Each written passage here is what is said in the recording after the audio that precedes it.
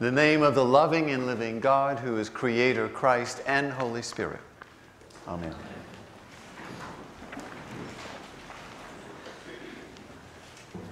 Good morning, church.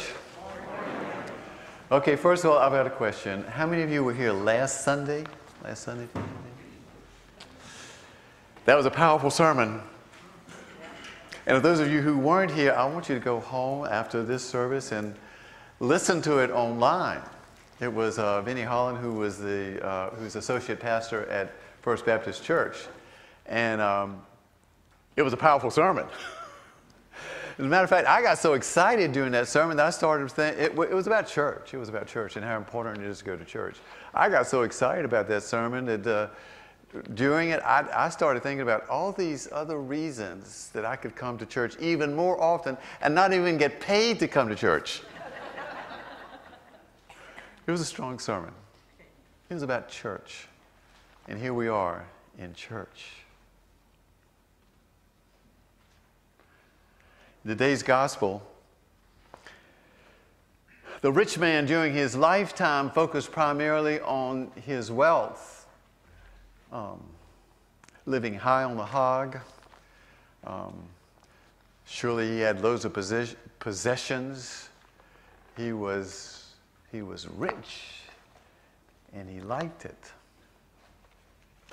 And he did not focus so much on his compassion for others, nor on his faith in God. And that was his choice. In the Great Commandment, Jesus tells us to love God and to love each other. And in the author of 1 Timothy tells us not to love money. We have a choice. The question for us here in church, in church, the question for us as a church, a faith community, is how can we help each other make a choice that is right and good and faithful? Or how can we help each other make that sort of the automatic response we have of making that good, right, and faithful choice when it comes to focusing on ourselves only or focusing on those with whom we are in relationship and most importantly with God? During our preparation for presenting people to be confirmed and received, we've been going through the outline of faith, the catechism, and um, the focus for this final, this final week as we prepare for next Sunday was on the mission of the church. And the catechism in our Book of Common Prayer states this that the mission of the church is to restore all people to unity with God and each other in Christ. So, my point here, you see, as people of faith, there's clearly a pattern of what we're called to do by the church, by Scripture, by Jesus, and that is to love one another and to love God. Now, of course, we've got to take care of ourselves. If we don't take care of ourselves, somebody else has to take care of, take care of us.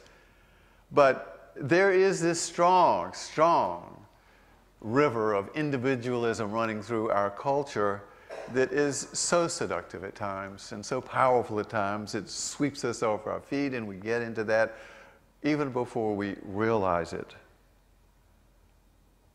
Just like, just like that rich man in the parable. But there is another way, and we can choose which way to take.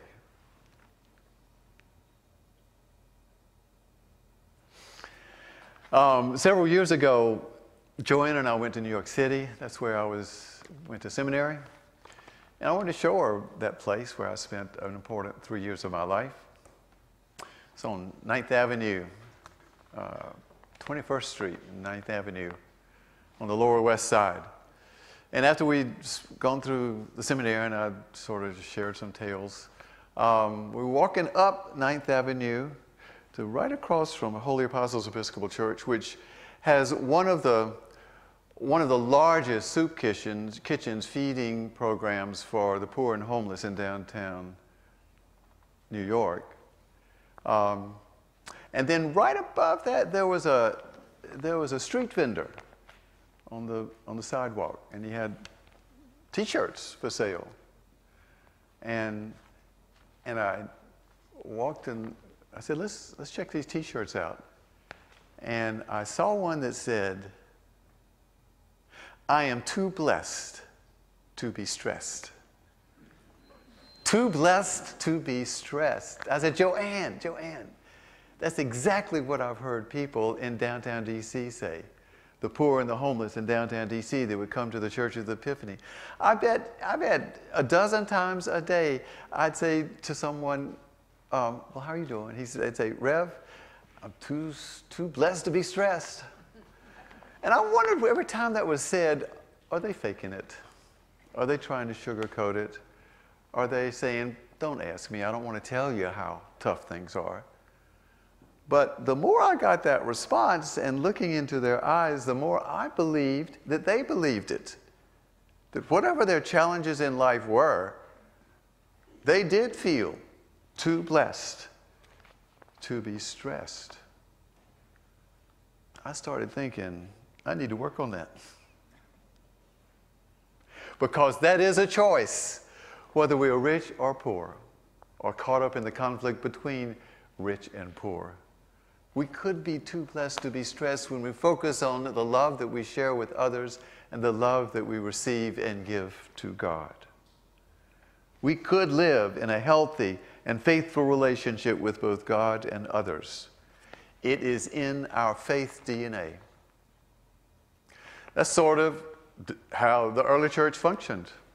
The stories that we get in Scripture and from other documents is that they shared their resources, they cared for each other, they looked after each other, they built up communities that were supportive and inspiring and healthy. They had their challenges, but they, they always returned to that, that rock, that cornerstone, that believing that God is, was with them is a place of comfort, and being connected through a shared faith in Jesus Christ was a solid relationship that they could depend on. That's in our faith DNA.